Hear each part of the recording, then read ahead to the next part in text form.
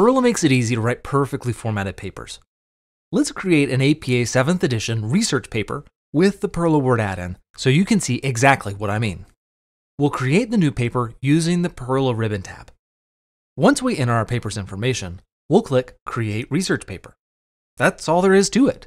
PERRLA will create a new document for us with the title page, margins, font styling, and body section ready for us to start typing our paper. Now I'm going to add a little text into the body so that we can create a reference and then add a citation for it. Using PERRLA's References and Citations panel, we can create a reference that we'll use to cite the quote in our text.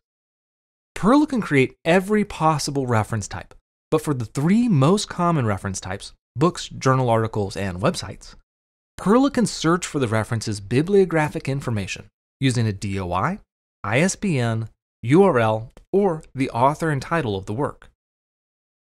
PERRLA will go out and find the information for the work and automatically fill out the reference form for you.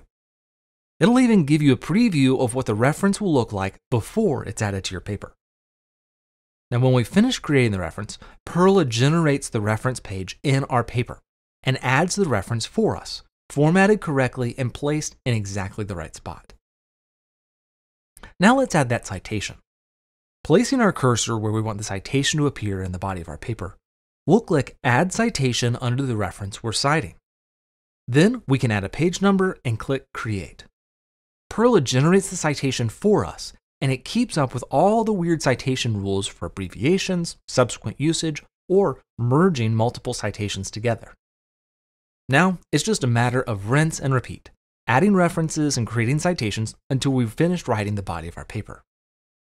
But PERRLA can do a lot more than just references and citations. We can handle abstracts, tables of content, appendices, heading styles, tables, and figures as well. And while we've been using the PERRLA Word add-in so far, you can do all of this and a few other things with our web-based editor, PERRLA Online.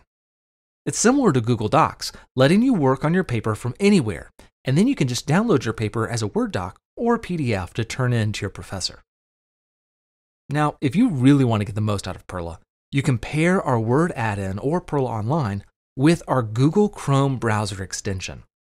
It lets you create references through your browser while you're researching.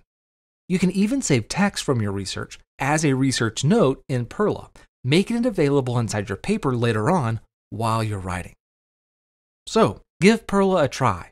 Start saving time and stop losing points on your paper formatting. PERRLA will take the stress out of writing papers.